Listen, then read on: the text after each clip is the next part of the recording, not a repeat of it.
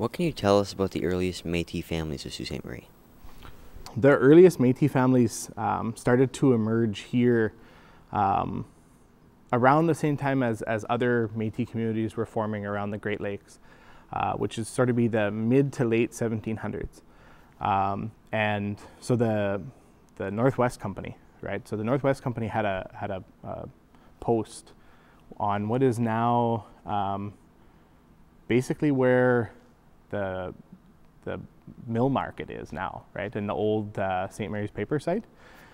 Um, and that was the Northwest Company post. And um, Sault Ste. Marie was sort of a, um, almost like a retirement community uh, for old voyageurs, right? And so voyageurs, they, uh, they retired young. Uh, they, they started young, they started working in the, in the fur trade when they were about maybe 16. Um, and then after 10, 15 years of carrying these incredibly heavy packs of furs and canoeing from Montreal to Alberta, right? Um, they were ready for retirement around like 40, right? So, but you, they still had a lot of life left, right? They just couldn't be voyageuring anymore, right? Uh, so they um, they started to form communities, right, of these retired voyageurs, and then they started to um, to marry with some of the First Nations women in the community, right?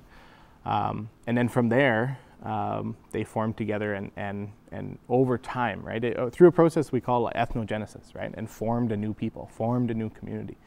Um, and some of, so some of those old families were, were uh, like some of those names are still around, the Cadot family and the Busno family and others, right? Um, and uh, yeah, so that's a little bit about the, the very early uh, foundations of that.